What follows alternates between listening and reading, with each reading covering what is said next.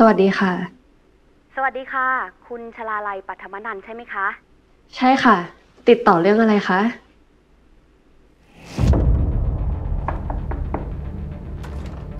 ขออนุญาตนะครับคุณน่าน คุณน่านครับ มีนักข่าวมาติดต่อขอสัมภาษณ์คุณน่านทำสกู๊ปครับ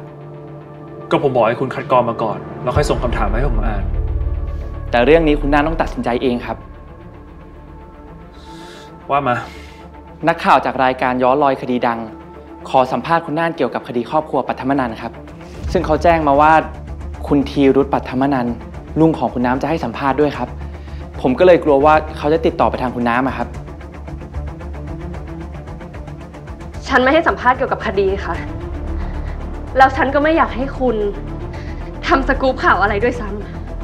แต่อีก 2 ปีคดีจะหมดอายุความแล้วนะคะ เราก็เลยอยากนำเสนอเพื่อกระตุ้นตำรวจให้รื้อคดีเผื่อว่าจะจับตัวคนร้ายได้นะคะ แล้วก็ทางผู้ถูกกล่าวหาอย่างคุณธีรุธเองเนี่ยก็ยินดีให้สัมภาษณ์แล้วด้วย เราอยากได้ข้อมูลจากทั้งสองฝ่าย ก็เลยอยากขอความร่วมมือจากคุณที่อยู่ในที่เกิดเหตุด้วยนะคะ แล้วคุณไม่คิดบ้างหรอคะ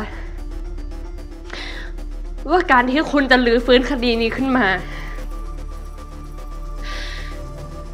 จะทำให้คนที่อยู่ในเหตุการณ์อย่างดิฉัน รู้สึกไม่สบายใจ การที่คุณทำแบบนี้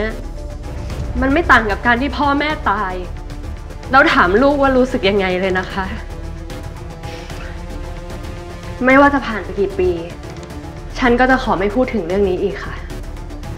แล้วถ้าใครสะดวกให้สัมภาษณ์ก็ไปถามคนนั้นนะคะ แต่ฉันไม่ให้สัมภาษณ์คดีนี้ค่ะ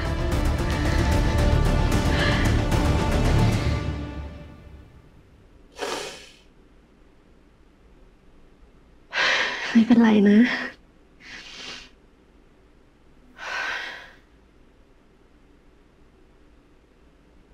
พี่นาน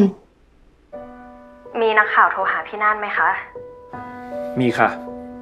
เขาโทรมาจะทำสกู๊ปเกี่ยวกับคดีพ่อแม่น้ำแต่พี่ปฏิเสธไปแล้ว มีนักข่าวโทรหาน้ำเหมือนกันใช่ไหมคะ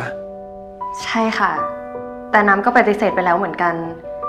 เขาอยากทำสกู๊ปข่าวตามหาความจริงว่าใครคือคนร้าย แต่เราก็รู้กันอยู่แล้วนี่ค่ะว่าลุงรุดคือคนร้าย พี่ให้บุรินทร์ไปเคลียร์กับทางรายการแล้ว ช่วงนี้น้ำอย่าเพิ่งรับเบอร์แปลกนะคะ พี่จะพยายามรีบเคลียร์ให้ ค่ะ